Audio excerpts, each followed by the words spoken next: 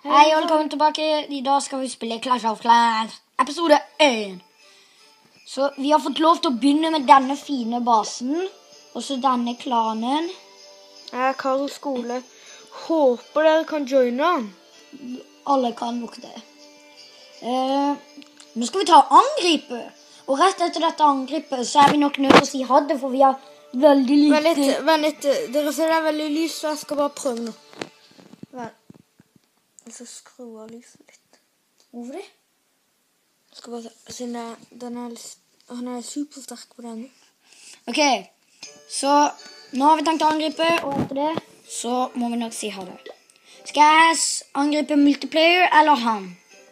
Um, Det, det må dere skrive i kommentarfeltet hva dere vil, men akkurat nå har jeg prøvd å finne en multiplayer.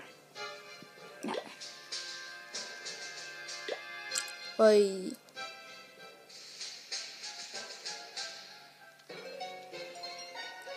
Ah. Han er nok god for det. Nei, altfor lite penger. For mye, men for bra base.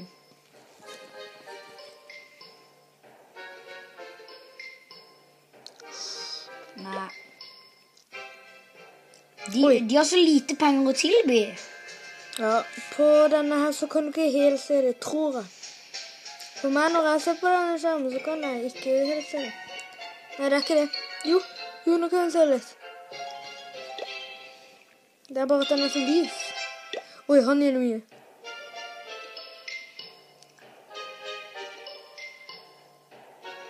Da vi tar og angriper en Sånn, da. 150 000. Uh. Å ja, den husker jeg. Det er, det er mange skjult Tesla rundt lageret. Kullageret. Det. Vet du.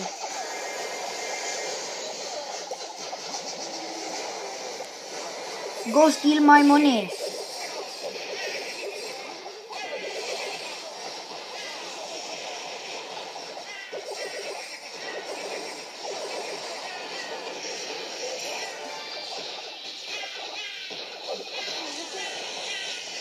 Det der er masse skjult Tesla.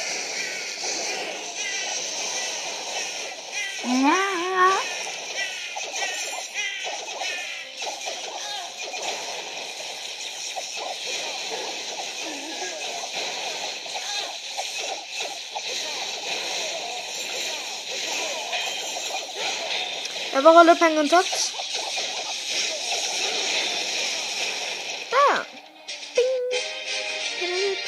Ikke så mye, og så skal jeg oppgradere en ting. Og neste gang det kommer en ny episode, så skal den være ferdig. Håper vi. Nå oppgraderer jeg den til nivå fire.